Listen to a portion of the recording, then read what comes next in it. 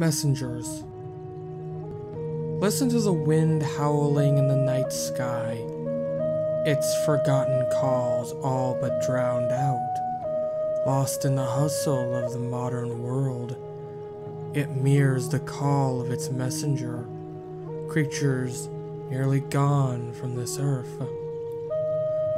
The time of wolves is nearly over. They are vanished from the, this earth as quietly as shadows.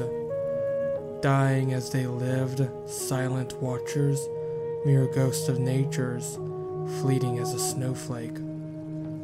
Gently creatures that put their community first, looking out for others rather than themselves. Sent to fill the void left in nature, humans drove them near to extinction. They call the wolves a nuisance Yet the wolves knew more than we. They saw the consequences to their actions. They knew they were put were but one link, one small point in the span of life.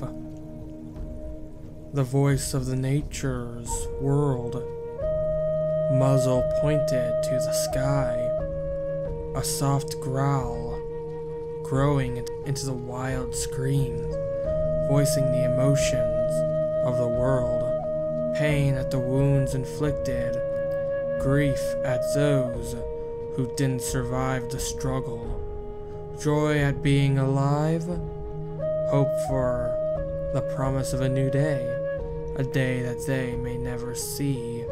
Mankind will enjoy it, perhaps they will not. Yet welcome it they do. They are disappearing from this earth.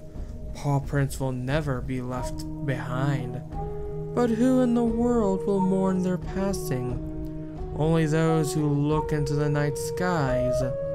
They will hear the song, and they will remember.